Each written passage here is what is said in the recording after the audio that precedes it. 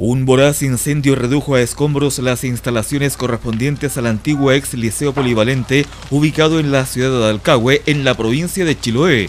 La emergencia se desató pasadas las 21 horas de este martes, cuando la central bomberil recibió un llamado que daba cuenta de un incendio que comprometía el edificio escolar ubicado a escasos metros de la iglesia patrimonial. En el lugar trabajaron 150 voluntarios de 14 compañías de bomberos de cuatro comunas, quienes liberaron una ardua lucha para combatir la acción de las llamas que en instantes arrasó con más de 5.000 metros cuadrados de superficie. Fue una tarea muy dura, fuimos sobrepasados por la fuerza del fuego, la altura de las llamas, casas de, eh, material ligero muy cerca, una ferretería con materiales peligrosos, eh, químicos, y tuvimos que pedir apoyo, apoyo a los cuerpos bomberos Castro con cinco máquinas, Curaco y Echado.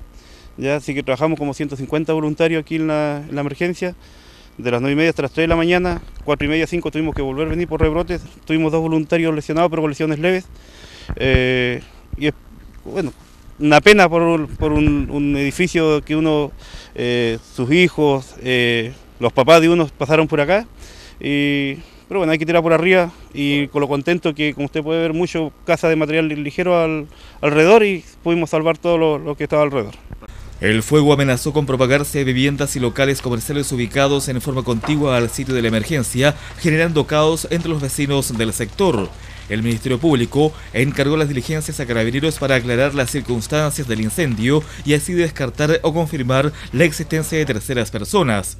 El local iba a ser acondicionado para el funcionamiento provisorio del Centro de Salud Familiar y así dar paso al proyecto de reposición del recinto que se ubica actualmente en calle Ramón Freire.